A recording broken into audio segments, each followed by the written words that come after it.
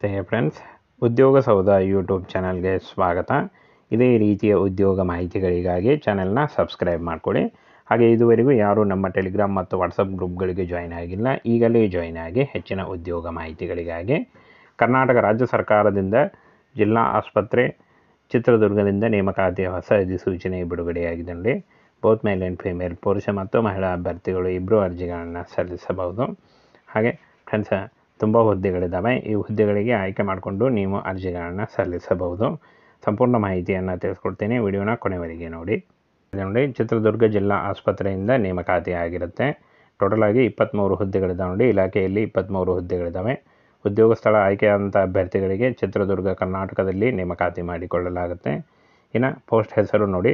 ದಾದಿಯರು ಮತ್ತು junior laboratory ತಂತ್ರಜ್ಞರು ಹುದ್ದೆಗಳಿಗೆ ನೇಮಕಾತಿ ಇರುತ್ತೆ. ವೇತನ ಹದಿನಾರು ಸಾವಿರದಿಂದ ಅರವತ್ತು ಸಾವಿರವರೆಗೆ ಪರ್ ಮಂತ್ ಸ್ಯಾಲ್ರಿ ಆಗಿರುತ್ತೆ. ಇದು ಜಾಸ್ತಿ ಕೂಡ ಆಗ್ತಾ ಹೋಗುತ್ತೆ. ಹಾಗೆ ಇನ್ನು ಪೋಸ್ಟ್ ಹೆಸರು ಮತ್ತು ಪೋಸ್ಟ್ಗಳ ಸಂಖ್ಯೆ ನೋಡಿ. ದಾದಿಯರು ಹದಿನೆಂಟು ಹುದ್ದೆ, ಜೂನಿಯರ್ ಲ್ಯಾಬೊರೇಟರಿ ತಂತ್ರಜ್ಞರು ನಾಲ್ಕು ಹುದ್ದೆಗಳಿದ್ದಾವೆ ಹಾಗೆ ಫಾರ್ಮಾಸಿಸ್ಟ್ ಒಂದು ಹುದ್ದೆ ಇದೆ ನೋಡಿ. ನೋಡಿ ಇಷ್ಟೊಂದು ಹುದ್ದೆಗಳಿದ್ದಾವೆ ಈ ಒಂದು ಹುದ್ದೆಗಳಿಗೆ ಆಯ್ಕೆ ಮಾಡಿಕೊಂಡು ನೀವು ಅರ್ಜಿಗಳನ್ನು ಸಲ್ಲಿಸಬಹುದು. ಇನ್ನು ದಾದಿಯರು ಬಿ ಎಸ್ ಸಿ ಮತ್ತು ಜಿ ಎನ್ ಎಂ ನರ್ಸಿಂಗ್ ಆದಂಥ ಅಭ್ಯರ್ಥಿಗಳಿಗೆ ಅರ್ಜಿಗಳನ್ನು ಸಲ್ಲಿಸಬಹುದು.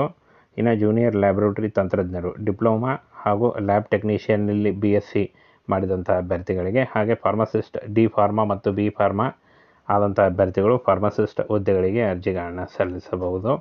ಇನ್ನು ವಯೋಮಿತಿಯನ್ನು ನೋಡೋದಾದರೆ ಗರಿಷ್ಠ ನಲವತ್ತೈದು ವರ್ಷದ ಒಳಗಿನ ಅಭ್ಯರ್ಥಿಗಳು ಅರ್ಜಿಗಳನ್ನು ಸಲ್ಲಿಸಬಹುದು. ಹಾಗೆ ವಯೋಮಿತಿ ಸಡಿಲಿಕೆ ಕೂಡ ಇರುತ್ತೆ.